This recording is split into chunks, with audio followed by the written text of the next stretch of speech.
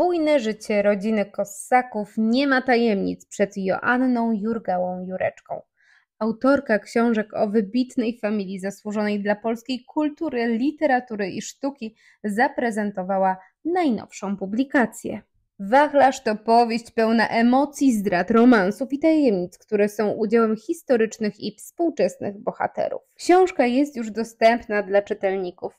Na wakacyjny ciągle jeszcze czas, jak znalazł. To wydaje się, że skoro pracuję nad tym tematem 30 lat, to już wszystko znalazłam i powiedziałam. Tymczasem kolejne wizyty w archiwach, kolejne rozmowy z rodziną prowadzą mnie w kolejne ścieżki, kolejne tropy i kolejne tajemnice, które odsłaniam również w wachlarzu.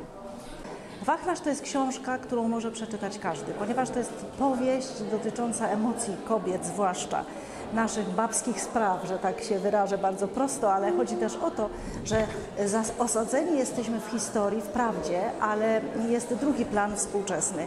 I sądzę, że nie tylko ci, którzy znają losy Kossaków, ale ci, którzy chcą poznać w ogóle losy związane z emocjami, z miłością, e, z odejściami, z powrotami, niech to przeczytają. My tylko jesteśmy ubrane inaczej. Dzisiaj już nie mamy gorsetów, dzisiaj nie mamy takich pięknych sukien jak kiedyś, ale jesteśmy tak samo zakochane, tak samo cierpimy, tak samo walczymy o mężczyznę, o miłość i o własne szczęście. Dlatego, że jest to wydarzenie na skalę ogólnopolską. Mamy dzisiaj szczególną e, przyjemność gościć panią Joannę Jurgowę-Jureczkę i jej najnowszą książkę Kossakowie Wagner.